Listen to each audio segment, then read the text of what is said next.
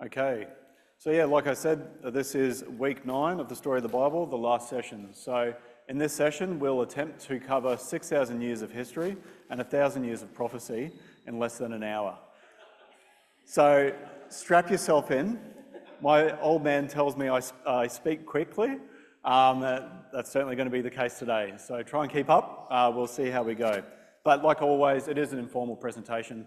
If you have a question or there's an important um, aspect that I missed, please, please call it out and we can have a, chat, about it. So, week one, gee, that was a long time ago. That was about eight weeks, nine weeks ago, funny enough. Um, but off God, creation, and the first sin. So, we first looked at the Bible. What is the Bible? Um, it contains 66 books, Old and New Testament. And the Testament is uh, a covenant or a promise.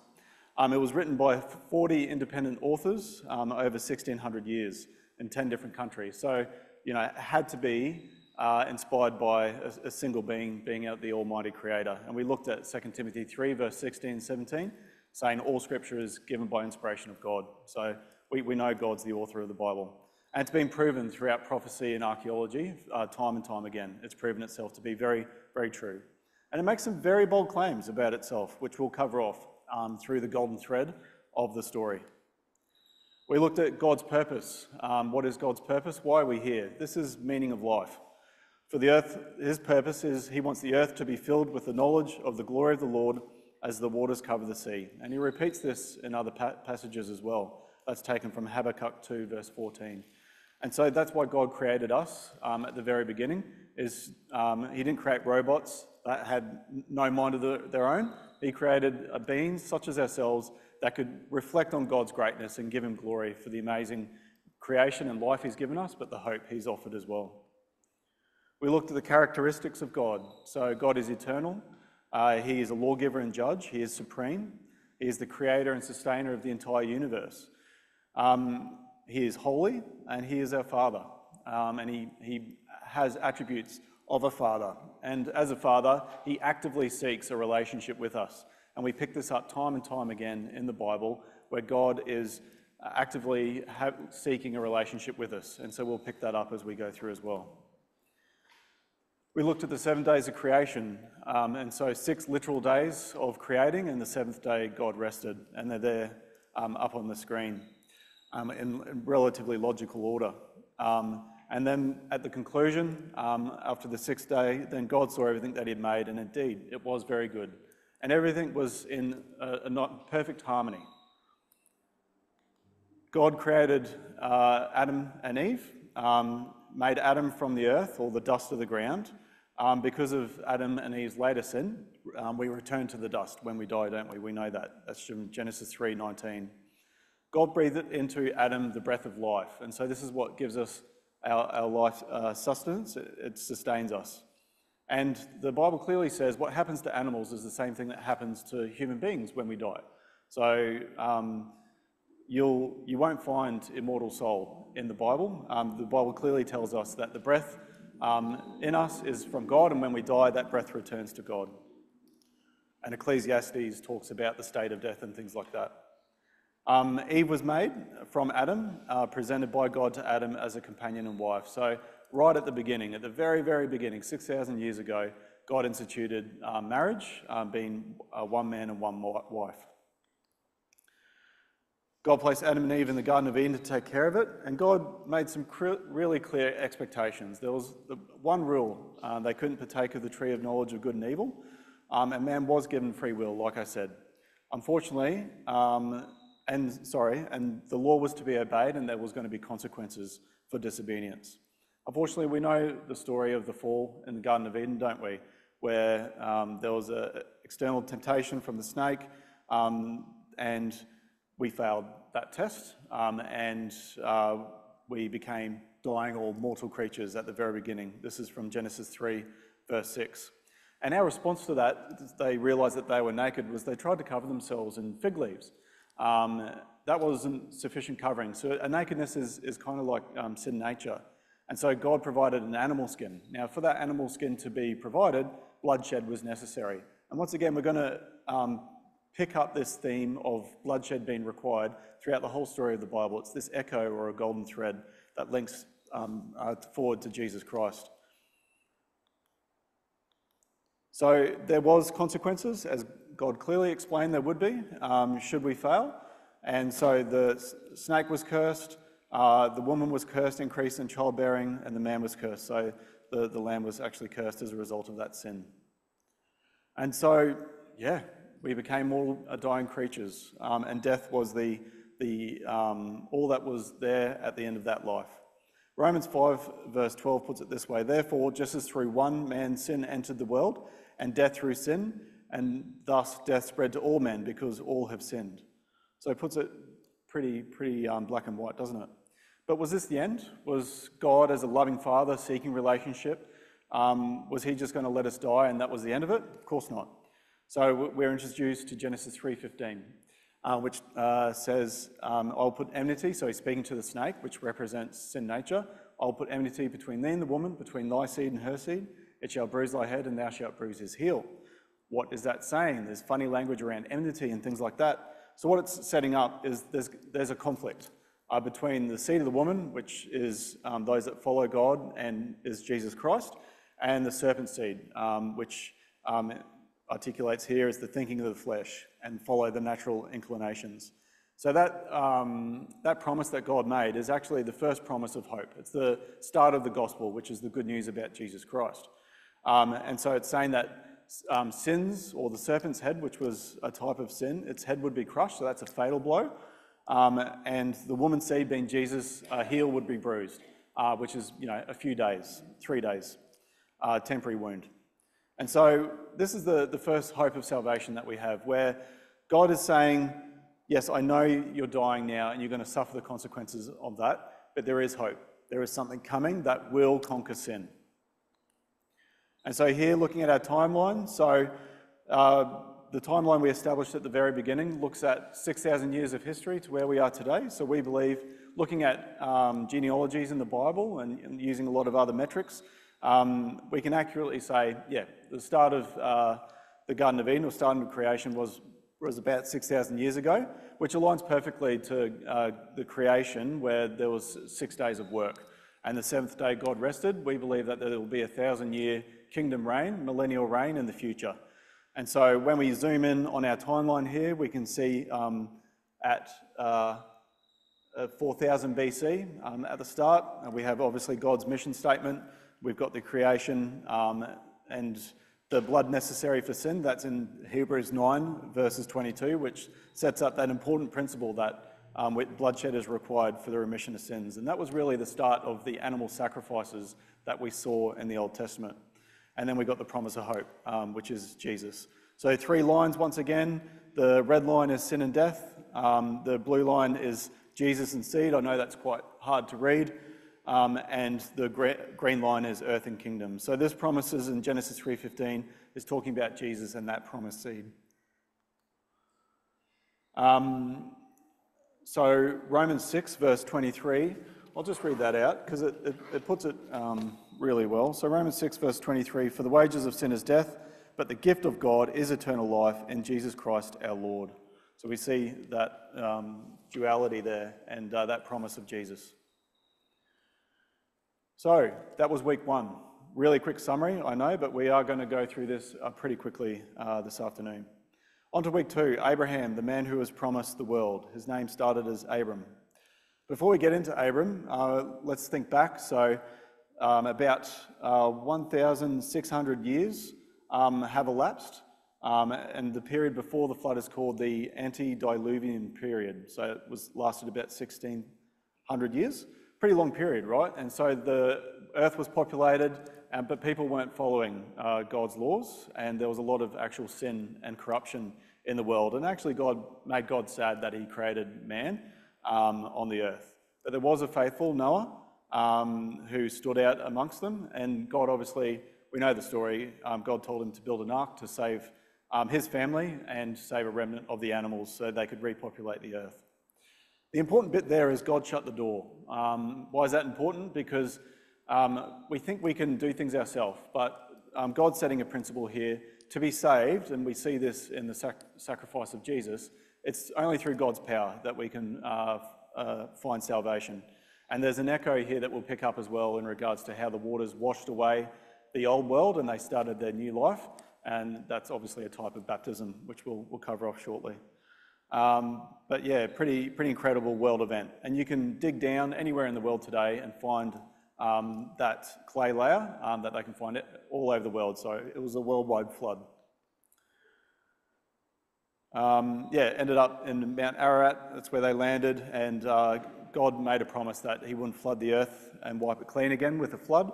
Um, and the rainbow was set up as a promise um, to remind us of that, that great promise that He's made. So the people are starting to populate again. God said to spread out and populate the earth, um, but they, they congregated. Um, obviously, the flood was very fresh in their minds, so they wanted to build a tower. Um, and this was against God's uh, wishes, and so God actually confused their languages. So, kind of forced them to, to spread out after that. So, once again, straight away, man's doing things that are uh, uh, opposite to what God was really asking them to do. So, that was the Tower of Babel. So, we see here in the timeline, so we've jumped forward uh, to 2348 BC, roughly, um, and God made that promise, and then we got the Tower of Babel just before the transition of the millennial uh, to 2000 BC. So um, here's a rough estimation of where the, the, major family groups from the three sons of Noah went. So Japheth is thought to be obviously the European nation, um, Shem, obviously Hebrew and Arabian, or um, yeah, uh, Arab nations, and Ham, the African nations down there in northern uh, Africa.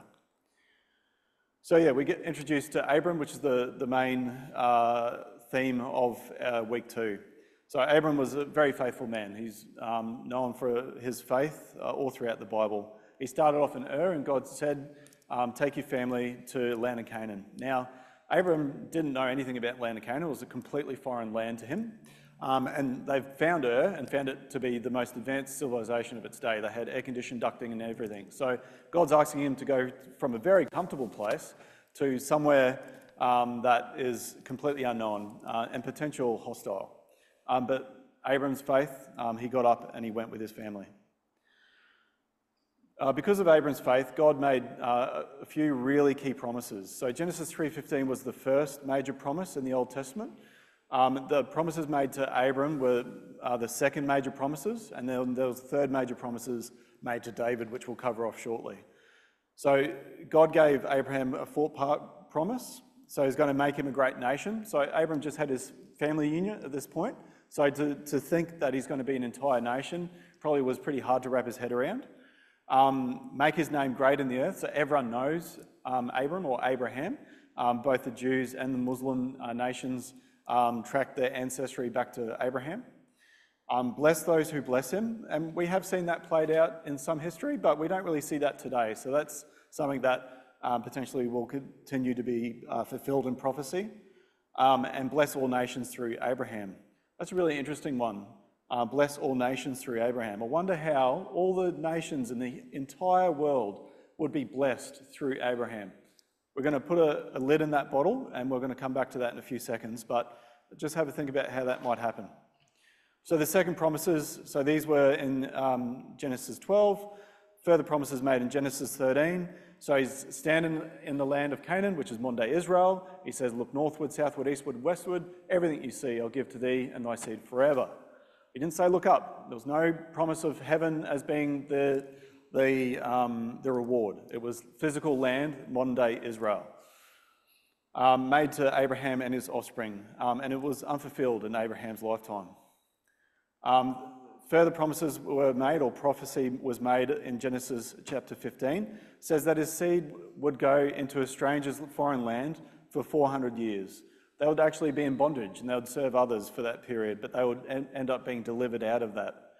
Um, and they were given the actual land that they would inherit. And so when we start to read of the story about Moses and they talk about the promised land, this is what that's talking about. Um, that land identified there. And this is the same land that will, they will inherit in the future kingdom as well, um, which we'll cover off in a later session. So when will the promises be fulfilled? Well, resurrection has to happen because Abraham and his descendants are dead and buried. We know that. Uh, it says it a couple of times in Hebrews chapter 11. So resurrection must occur. So this is the first um, time we pick up this idea of, of a resurrection, which becomes a stronger and stronger theme, especially as we get into the New Testament. It is a basic fund, Bible fundamental teaching.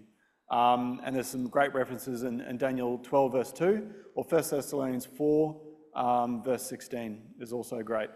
Um, that one says, For the Lord himself will descend from heaven with a shout, with the voice of an archangel and the trumpet of God, and the dead in Christ will rise first. So the New Testament leaves zero doubt in our mind around that resurrection is required. Now, going back to how all the earth, all, all the nations will be blessed through Abraham's seed, how is this going to happen? Well, we actually get the answer, which is really handy. In Galatians 3, verse 16, it says, Now the promises were made to Abraham and to his offspring. It does not say, and to offsprings, referring to many, but referring to one, and to your offspring, who is Christ. Right, okay. So that's how all the nations of the earth will be blessed, is through um, the sac- sacrifice of Jesus Christ. So it confirms promises were made to Abraham's seed, not a single seed, sorry, is to a single seed, identifies that seed as Christ, and uh, to be fulfilled through him. And how does this relate to us? So we're, we're in our, the Old Testament, but you know we're starting to pick up this theme of salvation, of a hope of salvation. How does this actually re- relate to us? Well, once again, the Bible gives us the answer to this in Galatians 3 27 to 29. Um, it says, For those that are in Christ have been baptized into Christ, there is neither Jew nor Greek, neither bond nor free, neither male nor female, for you're all one in Christ Jesus, and heirs according to the promise. So, what's that telling us? So we put on Christ, we become Christians by baptism. There's no discrimination, doesn't matter male or female, what nationality you are, for those baptized under Christ. If baptized, become adopted descendants of Abraham, so we um, get in, become inheritors of that, those, those, promises. Once again, physical land, uh, something to look forward to. Uh, become heirs to promises made to Abraham, as heirs in line to inherit land promised to Abraham as an everlasting inheritance. So yeah, Galatians 3, 27 to 29, really important, and that's why we've actually put it on the timeline. So we've got the second great promises there in Genesis 12 and Genesis 13, relating to both Jesus the seed, um, and that's all nations of the earth be blessed, but the physical, tangible land. So we've got our first green arrow going down to Earth Kingdom um, as something to look forward to. So that was week two. Week three, Moses and the law given to Israel. So after Abraham, he had a son Isaac. Now, we're not going to go into these stories, but they're just fantastically rich uh, stories that we can learn so much from, but we will be skimming them today. So he had Isaac. Um, Isaac um, had Esau and Jacob. Um, Jacob had his name changed to Israel, um, and that's why uh, the uh, Jews are known as the children of Israel. And so he had a number of sons and daughters.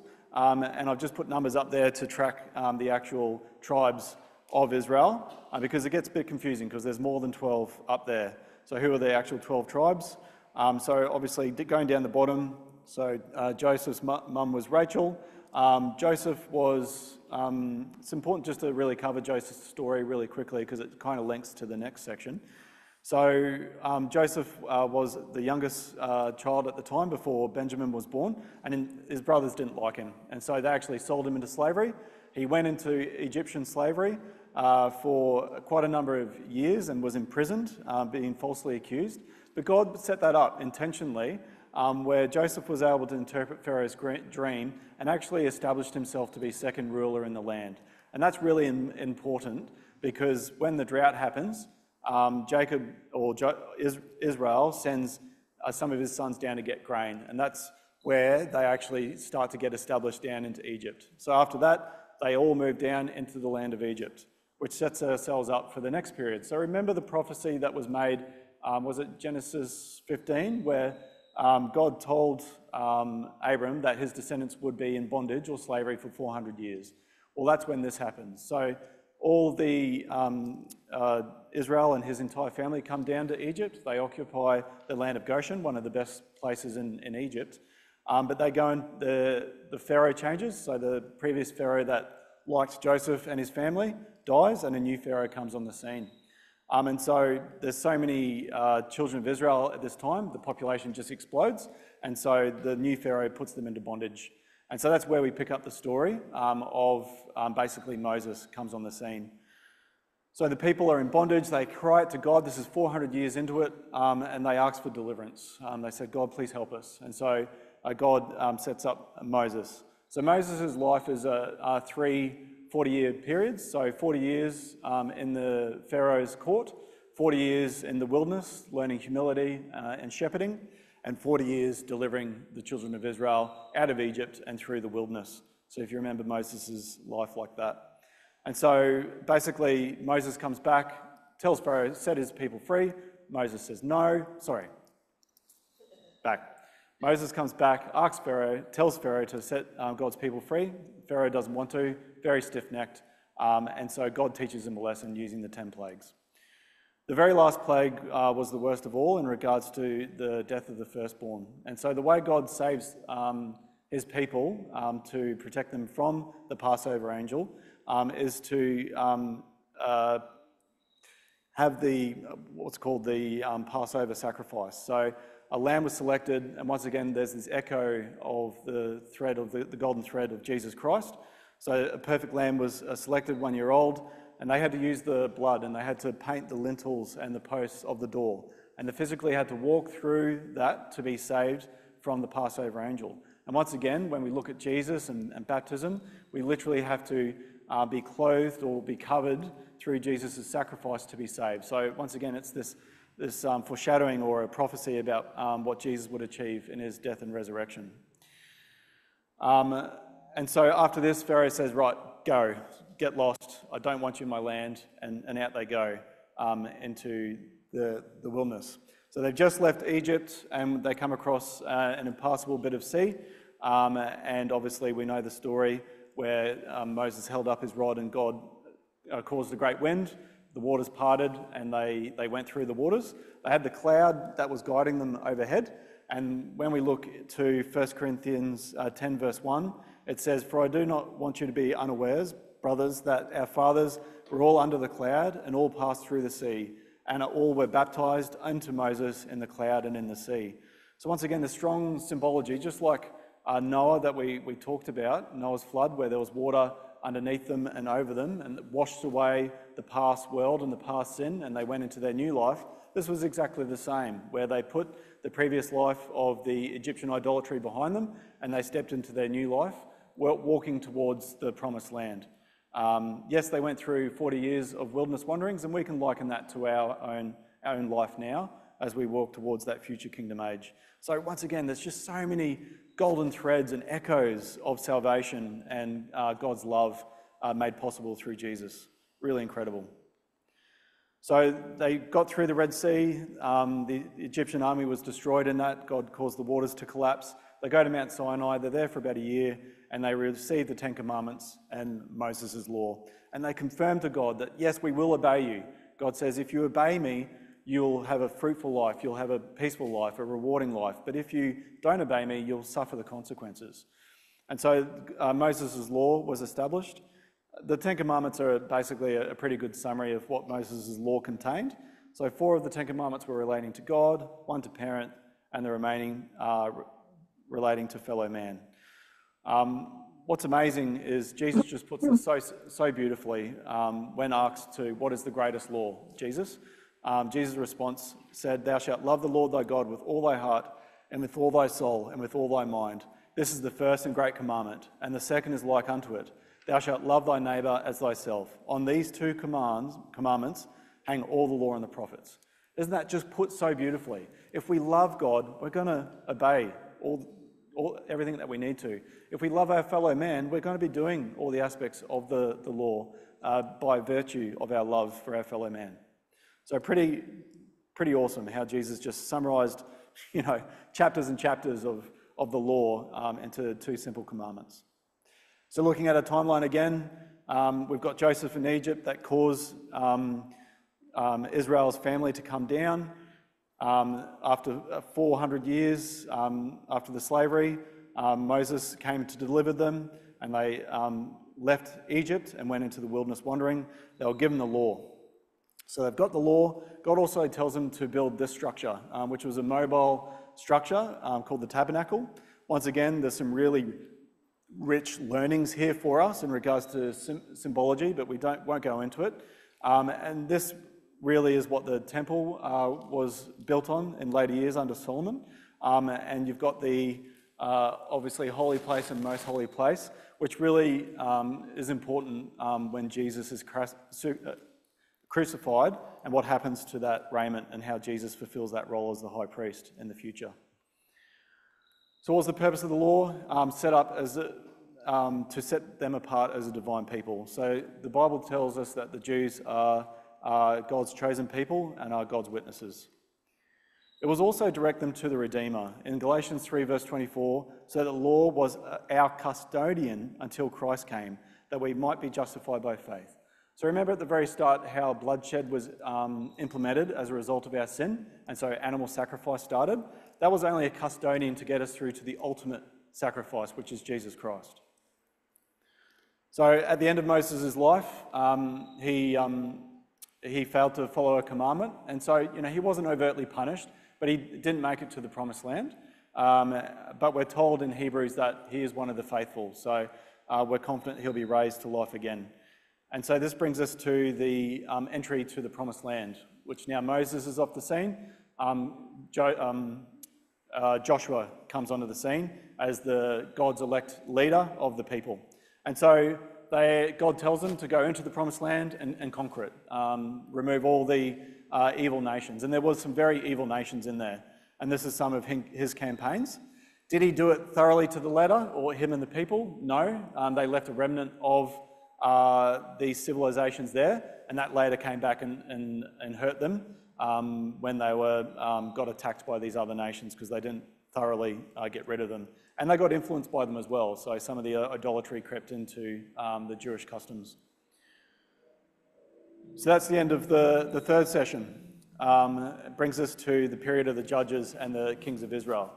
So, setting the scene, so they're in the land, they're freshly in there, but they have no, they have no king besides God. So, God is the, the king of Israel at this, at this point, but they got no physical king. So, this period, um, I, I, believe it's from Acts 450 years, is the time of the judges. Um, so, what happened? Basically, the four S's. So, even though they promised at Mount Sinai they would follow God, they sinned, just like we all do. They suffered as a result of that sin by God used other nations to um, attack and, and, punish them. They then sought God uh, because they were under persecution, and then God sent um, salvation, which was the judges. So the judge would come on the scene that would resolve the situation, save the people, get them back on track, serving God.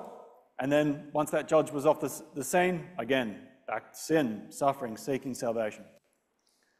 The last great judge was Samuel. Um, uh, so in uh, Hebrews 11, uh, what more shall I say? I do not have time to tell about Samuel, who through faith administered justice and gained what was promised.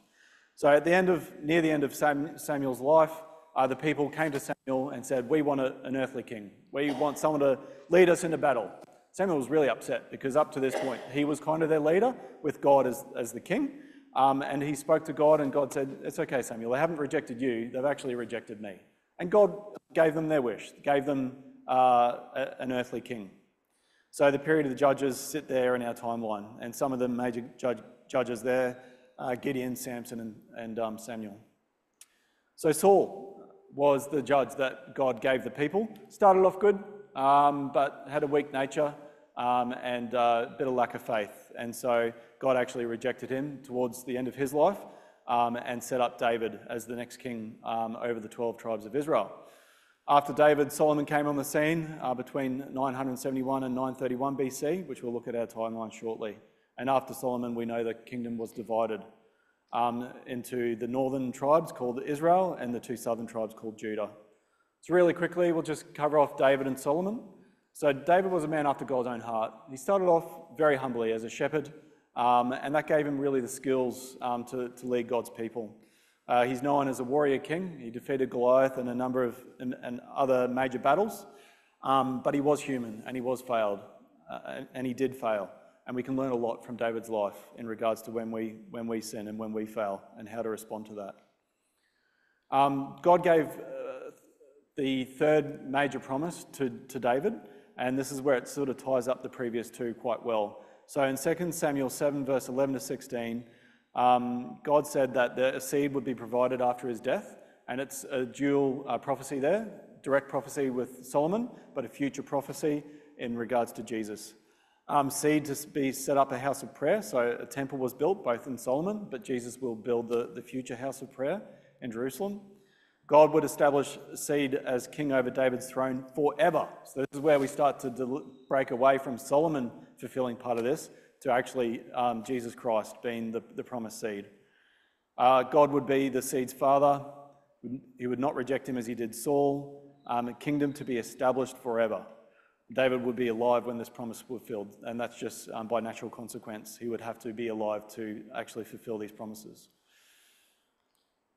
So the seed's identified. So once again, the Bible tells us the answer. Who is this promised seed? We're not, not left in any doubt. Uh, Luke chapter 1, 31, And behold, thou shalt conceive in thy womb and bring forth a son, and shalt call his name Jesus. He shall be great and be called the Son of the Highest, and the Lord of God shall give him unto the throne of his father David. He shall reign over the house of Jacob forever, and of his kingdom there shall be no end. So, once again, in our timeline, so King Saul just before the turn of the millennium, um, and then uh, King David after that. And the third great promise of um, the obviously the earth and the kingdom that would be, last forever, um, and also the seed being Jesus. So our third great promise made in the Old Testament. Solomon um, once again started really well. Uh, God said, "What do you want? I'll, you know, I can provide um, whatever you wish." And Solomon asked for wisdom. God gave him everything else. Um, had a very peaceful life, a life um, of uh, great prosperity in the land of Israel. Um, but he eventually he did what God told him not to do. Had too many wives, put, um, had too many chariots and horses, and all that led him astray um, and uh, turned him to other gods. So, as a consequence of this, God said, I'm going to divide up your kingdom. It's not going to happen in your lifetime, but it'll um, out of respect for your father, David, but it's going to happen to your children's in your children's timeline. And this is what happened. Uh, a, the, the, kingdom was divided after Solomon. So Jeroboam was stood up um, to take on the 10 northern tribes, and Rehoboam, which was the son of Solomon, uh, took looked after Judah. Um, so all of Israel had all wicked kings, not one good king, um, but there was a mix of good kings in Judah, in the tribe of Judah. Um, Jeroboam, the son of Nebat, who caused Israel to sin, there's a classic sort of phrase we find in the Old Testament. That sin is actually setting up idolatry um, worship in the northern um, tribes. So, because there was no good uh, kings in Israel, they didn't last very long, um, and they were actually taken into captivity by uh, the Assyria. So, pretty nasty nation, uh, very vicious, and it sent shockwaves throughout all the then known world. And eventually, the Israelite kingdom fell in 722 BC. That only lasted 210 years. So, in our timeline, we've got here um, the kingdom being split, uh, Judah and Israel, um, both a mix of good and bad kings for Judah and the Assyrian captivity in 721. Whew, okay. That was a lot, wasn't it? How are we going? Too much detail? Not enough? All right, cool. Well, we'll just break for five minutes. Um, I, need a, I need a drink. Um, go get a coffee, um, and then we'll kick off and we'll um, finish off the last four sessions. I won't wrap the next session, no. I, I will try and slow down a little bit. I know I'm going very fast, but there's just so much to cover um, and it is so exciting. So we'll, we'll keep going. All right, so week five, we covered off captivity in Babylon and return to Jerusalem. So we will get through these, um, these weeks a bit quicker. Um, so the kingdom of Judah, so just remember um, the kingdom of Israel, um, it didn't last very long. Kingdom of Judah went for a bit longer because it did have some good kings. The good kings, you know, got rid of the high places, tore down the idols, and got people back on track to serving God. Um, and some of the good and bad kings listed there. Um, finally, after a succession of evil kings, Judah suffered the same fate as Israel, um, survived 130 years longer um, because of the good kings. So now the Assyrian uh, nation was taken over by the Babylonian um, nation, led by King Nebuchadnezzar, um, invaded, and the nation taken into captivity um, into Babylon. Now, there was a pr- prophecy about this in Jeremiah 25, verses 11 to 12, and it says that they would be taken into captivity for 70 years, and we see that played out. So, Ezekiel um, 21, verse 27, says, A ruin, a ruin, I will make it a ruin. It will not be restored until he comes to whom it rightfully belongs. To him I will give it. So, this is basically the end of the kingdom of God on earth. Um, and uh, you've got three ruins there. So, you know, you could potentially line those up to um, three uh, destructions of, of Jerusalem, both then and um, both in the past and potentially in the future. Uh, but uh, basically, it's saying that when Jesus returns, God will give the kingdom of Israel uh, back to him, which we've already looked at in Luke and the promises made to David in 2 Sam. So, in our timeline here, so roughly nine, uh, 586 uh, BC, uh, Babylon took the um, remaining tribe of Judah into captivity for 70 years. So the tribe, the kingdom of Judah or Israel uh, in captivity um, in Babylon, and Nebuchadnezzar has a dream. So this is the time where Daniel, uh, so we read lots of things about Daniel. Daniel interpreted this dream of Nebuchadnezzar he had this dream of a, of a big statue, and this is an amazing prophecy. Um, we're not going to go into detail. Amazing prophecy to sink your teeth into. If you want to just pick at one prophecy, if you're interested in Bible prophecy, pick at this one. So it's just so fantastic how it perfectly aligns um, about what nation was going to precede which nation, uh, because in Daniel it gives vivid uh, descriptions, both imagery and, and text, about what those nations would represent and what would happen. So pretty amazing prophecy um, that we still see uh, played out today uh, with the uh, Roman influence in the EU. Um, it, it, does, in that prophecy, said there will be a stone that will destroy. So the, the statue was basically all these nations, and each different metal um, was a, a, different nation um, that would come after each other. Uh, but at the end of, of the prophecy, this, this stone cut without hands destroyed um, that, that um, image or, and uh, it uh, ground it to powder and grew into a mountain that covered the whole earth. And so we know that to be the future kingdom. And Jesus described in many locations as the stone um, that the builders rejected. So we're now looking at the um, period uh, between, uh, we're coming to the end of the Old Testament. So um, after the 70 years of captivity, they went back to Jerusalem, they rebuilt the temple. It was never the same. Um, it, uh, never returned to its former glory from Solomon. And then there was 400 years of silence. So from the Old Testament to the New Testament, there was no prophecies, no new word from God. And in this time, when we look at our history books, um, we know that Alexander the Great um, led the Grecian army, and he's, he's described as a leopard because he, was, he took over the then known world so quickly. And he was the, um, the medal of uh, brass or bronze in the uh, statue. And then we had the Roman Empire, which was the two legs of iron, being Rome and Constantinople. So Rome, as strong as iron. Um, and then time of Jesus um, was just before Jesus, Herod was on the scene um, as we lead into the New Testament in Matthew chapter 1. So week six was Jesus Christ. So God's plan, when we look back at it, um, to fill the earth with his honour, glory through a tried and tested population, to destroy sin through one man, his son, the Lord Jesus Christ so Jesus is Saviour and Christ anointed, and so Christ Jesus anointed Saviour. So when we look at Luke chapter 1, verses 26 to 38, and the angel said to her, This is to Mary, Do not be afraid, Mary, for you have found favour with God, and behold, you will conceive in your womb and bear a son, and you shall call his name Jesus. He will be great and will be called the Son of the Highest, and the Lord God will give him the throne of his father David, and he will reign over the house of Jacob forever, and of his kingdom there shall be no end. So it's really clear here that he is the Son of God, um, Son of Man is the promised seed, all the way back from Genesis 3.15. Promises to Eve, Abraham, Isaac, and Jacob and David. Virgin birth prophesied in Isaiah 7.14. And so just focusing on the Son of Man, sorry, Son of God, John 3.16, the, the well-known verse, For God so loved the world that he gave his only Son, that whoever believes in him should not perish, but have everlasting life. For God did not send his Son into the world to condemn the world, but that he but that the world through him might be saved. So once again, we get this idea of this loving Father, you know, actively working to have a relationship with us, and that he gave his only Son that we have the hope that we have. It's pretty incredible stuff. And it's interesting to note that it's the Son of God, not God the Son. So um, Jesus and God being separate entities.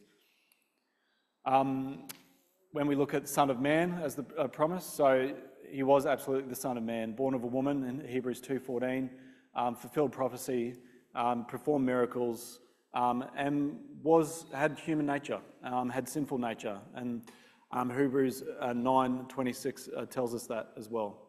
Uh, if you want to read a bit more about uh, resurrection and what Jesus um, achieved through his own death, burial, and resurrection, 1 Corinthians 15 is a great chapter to use.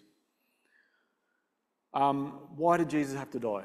It's often uh, a question that we ask. So when we go back to Adam and Eve, um, all the way back to then, we sinned. So we stepped away from God.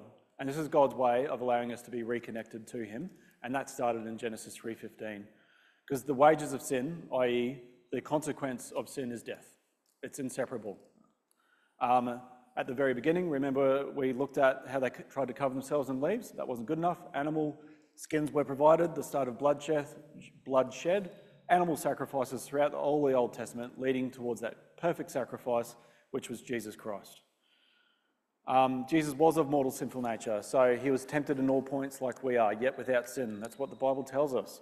And so he overcame sin nature and destroyed a, a, a fatal blow to the head of sin in his own body, paving the way for us. Once for all sacrifice opened the way of life to us. And 1 Corinthians 15, once again, it's a great chapter. It calls Jesus the first fruits. What does that mean? He was the first to be raised from the dead and have eternal life and that means that there's fruit to follow, and God willing, that will be us and those that have fallen asleep in Christ. What's our response to this amazing opportunity? We need to recognize Jesus died for us in Galatians 2:20.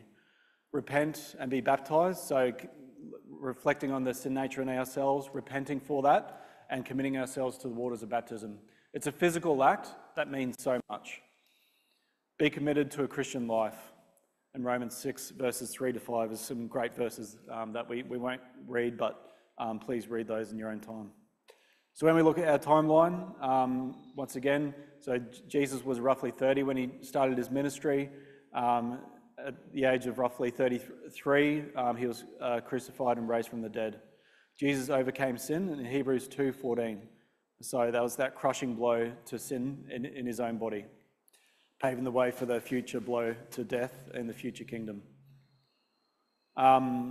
And Mark 16 16 says repentance and baptism is absolutely needed. Um, makes no, um, yeah, we're left in little doubt about that fact. So that's Jesus Christ really quickly. Um, such a, a, key week. We could have gone into so much more detail, but um, it is a, a, quick summary. It's amazing what Jesus achieved through his sacrifice um, and resurrection. We now quickly look at the um, early church. So, what happened after Jesus' resurrection? He spent 40 days on earth working with his now apostles, getting them ready to go out to the whole world and preach, preach the gospel. Um, after he um, ascended uh, into heaven, um, he, it was promised that he was going to return. So, um, in Acts 1, verses 9 to 11, basically, some of his apostles saw him go up and they were just looking up seeing their master leave, and the angel said, Don't worry, he's going to come back in the same way he left. And so we have that promise that Jesus Christ will return. It's called his second coming. So, what do the apostles do now? They've had Jesus to lead them this whole way. They've been students of Jesus. What, how on earth do they preach the gospel to the, to the whole world?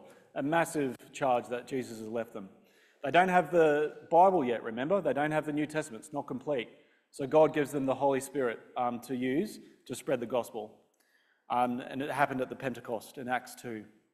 What was it used for? It was for the writing of the scripture, because it says through inspiration the scriptures were written, uh, the testing of writings, the establishment of the believers in sound doctrine and practices, and opposing error. So these are some of the spirit gifts in the first century, um, lots of different uh, types of, of, spirit gifts. And in 1 Corinthians 13, verses 8 to 10, it, it talk, in 1 Corinthians 13, it's talking about all the Holy Spirit gifts. And then it goes on to say, in context, then, um, you know, that which is in part will be done away with when that which is complete. Um, so basically, what that is uh, actually talking about is that which is complete is actually the Holy Word, the Bible. So around this time, the, the New Testament was complete and the entire Bible was put together. So they didn't need the Holy Spirit gifts anymore. Um, they had the complete scriptures because the Holy Spirit gifts was just to help them spread the gospel. So, the, what did the uh, apostles preach um, the gospel. What's the gospel? It's the good news about the kingdom of God and Lord Jesus Christ in Acts 28, verses 30 to 31. It offers salvation. Romans 1, verse 16 For I'm not ashamed of the gospel of Christ, for it is the power of God to salvation for anyone who believes, for the Jew first and also for the Greek. So it, the gospel and the hope of Jesus just spread through like wildfire throughout um, Asia, uh, Asia Minor here. So by AD 48, it had spread to Athens, and by AD 60, it spread all the way to Rome. So absolutely wildfire. Um, so new believers were baptized by immersion in water. So you might have heard of John the Baptist. He really prepared the people for the symbol of baptism. And then once Jesus uh, was crucified, rose from the dead, and was um, ascended into heaven, people were baptized into Jesus as a, uh, as a sin covering. So it's full immersion in water. It's not sprinkling. There's nowhere in the Bible that says that gives an example of sprinkling the water. It's full immersion, and that's you know the type of Noah's Ark that's crossing the Red Sea. It's washing away, and Romans six tells us that we're buried with Jesus when we go um, into the waters, um, and we rise uh, a new man or a new woman um, out of there, and we walk anew. Um, so identified with Christ's sacrifice by symbolic death, like I said, rose from the water to begin a new life. So a lot of um, acts and um, uh, sort of articulate the uh, travels of the apostles. So we're introduced to this um, character named, started off with the name Saul, and he got his name changed to Paul. He wrote the majority of the New Testament, as you can see in the green books there. A, lot, a lot of people believe he also wrote Hebrews when you look at the, the New Testament. Um, yeah, he, he started off um, being on the wrong track, but Jesus intervened and put him back on the right track, and he became one of the, the uh, biggest spreaders of the gospel. when we look at the church organisations and some of the challenges they had, so there was no big church buildings. It's not about the building. Uh, God's church is uh, actually in Greek is ecclesia, and it's the body of people. It's got nothing to do with physical walls or a roof. So they, they met in people's homes, they met wherever they could. There's no paid ministers. You know, there's no um, principles in the Bible of uh, having a paid ministry. Um, Paul himself was a tent maker, travelled around. He had to earn his own money to, to, pay for his own food. Yes, they were supported by the clergy here and there, but um, yeah, there's no idea of these paid ministers or pastors or priests. It was a lay community, um, and they called the community the ecclesia or congregation um, there was all these challenges because all these Jews and Hebrews were being converted over to Christianity. So they bring a lot of these old laws with them, and that was causing all sorts of issues. Um, and a lot of the letters uh, in the New Testament detail um, those challenges. Um, other problems arose concerning nature of Jesus and the inspiration of apostles. So once again, you'll find in a lot of the letters Paul was writing, he was writing to try and correct the, these errors um, that were coming up in the, these new ecclesias.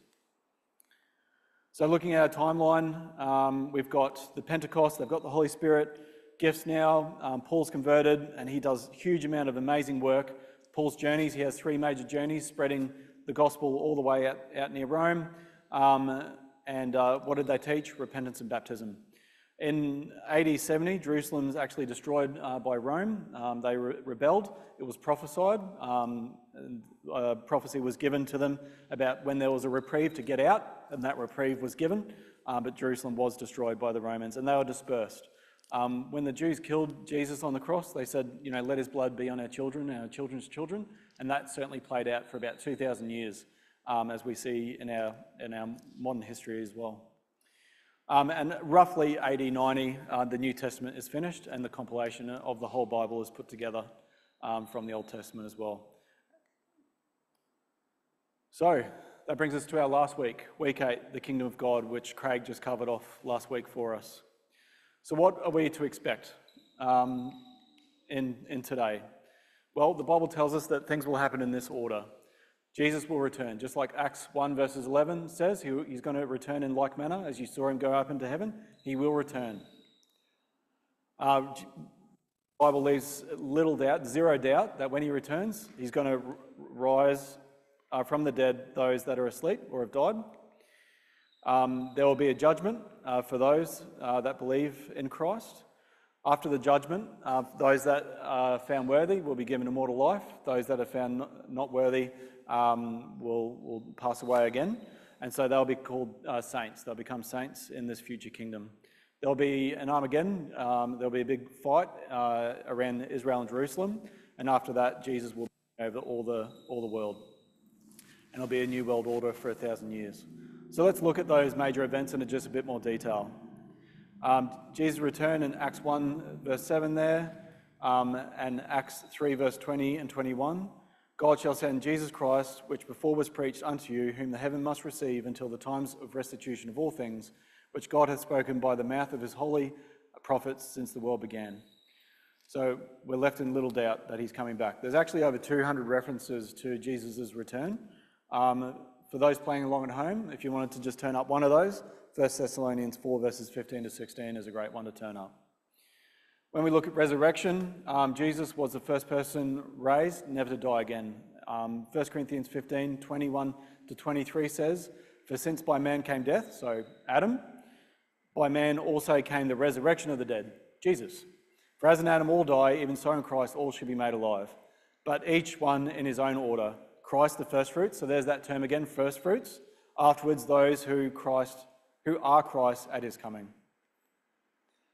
So baptism is the key to resurrection. The Bible clearly tells us you need a belief, you need to be baptized, and you, that equals the hope that we have in resurrection. And he said to them, Go into all the world and preach the gospel to every creature. He who believes and is baptized shall be saved, but he does not believe will be condemned. Once again, an infant doesn't believe in anything besides the comfort of his mum. Um, you need a belief, and you then need the action of baptism to be saved. John 3:13 says, "No one has a sorry, sorry, our reward is on earth, not heaven." So remember, I talked about the promises made to Abraham. Didn't say look up. It was physical, tangible uh, land that they were promised. Um, and in John 3:13 it says, "No one has ascended to heaven, but he who came down from heaven, that is the Son of Man who is in heaven." And if anyone was going to get into heaven, surely it's a man after God's own heart, which is David. But Acts 2:34 says, "For David did not ascend into the heavens, but he himself, the, but says himself, the Lord said to my Lord, Sit at my right hand till I make your enemies your footstool." So Jesus, uh, sorry, David is dead and buried, and he's waiting the return of Jesus to raise him from the dead. Once again, lots of different uh, Bible references to the resurrection. If you're playing along at home, turn up John 5, 28 to 29 if you wanted to turn up just one of them. Really good passages there. The judgment, what's that about? There will be a judgment when Christ returns. In Romans 14, verses 10 to 12, but why do you judge your brother? Why do you show contempt for your brother? for we shall all stand before the judgment seat of Christ. Um, conditions do apply. So um, there are some Christians that believe that all you do need to do is believe in Jesus, accept Jesus into your life, and you're saved, no matter what. But the Bible actually says no, there's a bit more to it than that. Um, in 1 Corinthians 6, verse 9, it says, Know ye not that the unrighteous shall not inherit the kingdom of God? Do not be deceived, neither fornicators nor idolaters, and it goes on to list a number of things, will not inherit the kingdom of God. So it's, it's pretty black and white, but it leaves the question, can we actually earn this? Can we just, you know, focus on our works and we can assure our salvation? Well, actually, the Bible says it's a gift. Ephesians 2, verses 8 to 9, For by grace you have been saved through faith, that not of yourselves, it is the gift of God, not of works, lest anyone should boast. So it is a gift given to us from God. So that's the judgment. Like I said, those that are found worthy will be made immortal and be saints. Those that are not found worthy will pass away. And then there will be those that rise up against Jesus Christ in the end. And, movies have been made about Armageddon, but the Bible's version is quite a bit different to the, the movie Armageddon. basically, there will be a battle for those opposing Jesus' reign. They'll actually call Jesus the Antichrist, is what the Bible tells us, um, which is crazy. This battle will ensue, and obviously Jesus and the saints will be victorious in that battle, and then the kingdom of God will be established. So Jesus will be king. He will be great and be called the Son of the Highest, and the Lord God will give him the throne of his Father. We've read this quite a number of times this afternoon. So Jesus will put down all opposition to God, will have dominion over the whole earth. Um, all nations will serve him, will establish a new worldwide order, law. The world's population will go to Jerusalem once a year and his rule will be one of righteousness, justice, and peace. Not making this up, please read your Bible, and we can give you the Bible references um, to, to back the, all these up. So, Isaiah 2, verse uh, 2 to 4, articulates um, Jerusalem as the future um, capital of this worldwide kingdom in Jerusalem. And that's just an artist's impression of Ezekiel's temple. So, the kingdom of God will go for a thousand years. Um, we're told that in Revelation 20, verse 4, and they lived and reigned with Christ for a thousand years. So, once again, it lines up perfectly with the seven days of creation. Six days of toil, we're at 6,000 years. We're looking forward to the next thousand years of rest, and that's going to be the time of the kingdom, a time of healing and peace.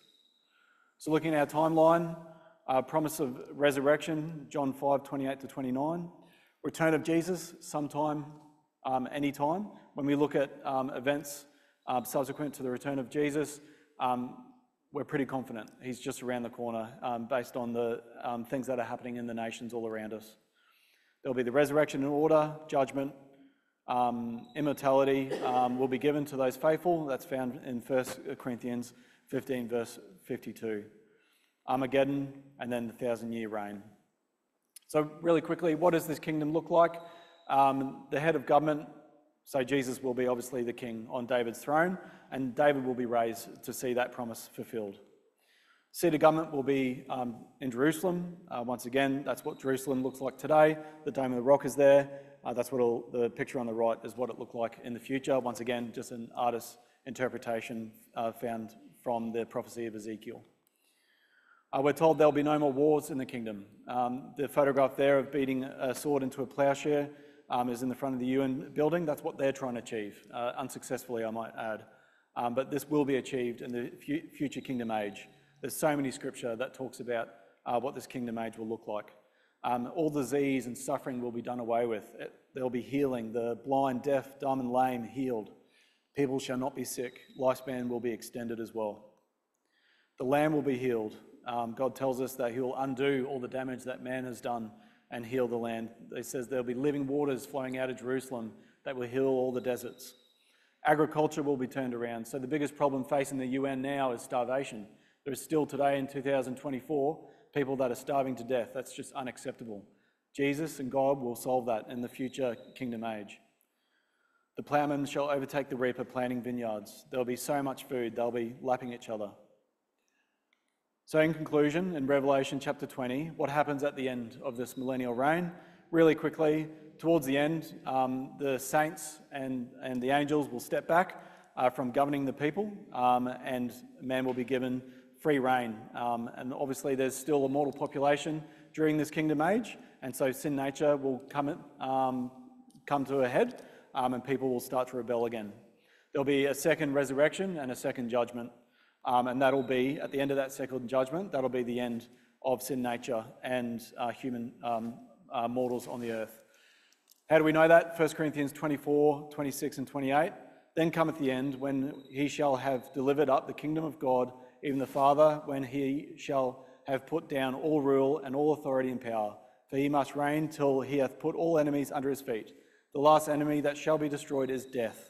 And when all things shall be subdued unto him, then shall the Son, Jesus, also himself be subjected unto him, God, that put all things under him, that God may be all in all. So this is the ultimate fulfillment of Genesis 3:15. Jesus achieved that in himself. At the end of the kingdom age, it'll be achieved for um, absolutely everybody. And like I said, God wants a relationship. He's a loving Father. Fear not, little flock, for it is your Father's good pleasure to give you the kingdom. Jesus, sorry, God wants us in this future kingdom. That's found from Luke 12, verse 32. So there'll be a second judgment at the very end of that thousand year uh, millennial reign. And I've put an X there at the end of that red line. And that's the end of it. The blue and the green continue. We're not told what happens past that, but God has now um, taken over. Jesus has handed the kingdom back to God, and it, we're told it'll go forever. But we, we're not giving any details past then uh, what happens past the thousand year reign. And then, only then, will God's ultimate purpose be actually fulfilled, where all the earth shall be filled with the glory of the Lord, uh, fulfilling his mission statement. So, pretty exciting time to look forward to, isn't it? We've covered off a lot of history, a lot of um, scripture, probably feeling pretty overwhelmed and overstimulated by my fast talking. Uh, before we wrap up our nine-week seminar series, was there any questions, um, any clarifications? Did anything not make sense? Was there any linkages that weren't clear uh, that potentially we could just spend a few moments clarifying?